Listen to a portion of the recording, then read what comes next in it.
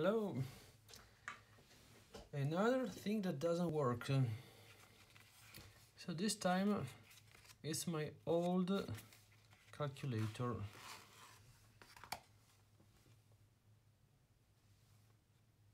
So it used to be working. Now if I turn it on, you see the display is a little bit faint.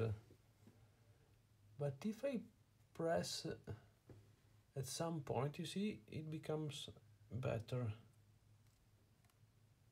So it looks like it's a, a sort of a contact issue. You see, now it's quite good.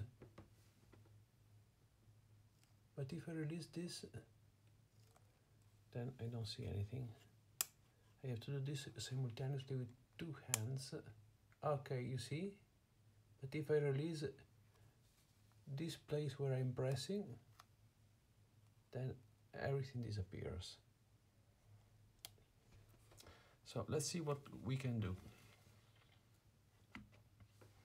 Let's try to open it.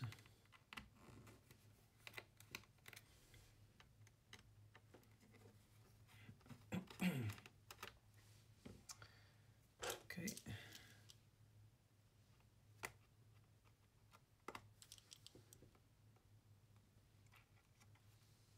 Ah, nice. Uh,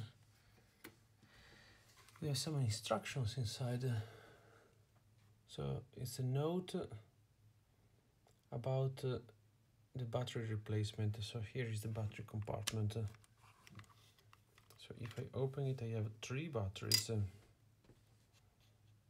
Okay, let's remove the batteries.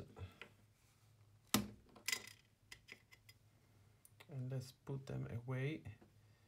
So we have to be careful with those type of batteries because you see the plus is in this place. Here we have the minus, but there is a very little gap between the plus and the minus. So anything that creates a short circuit be between those two points will spoil the battery, will completely discharge it. So let's put them away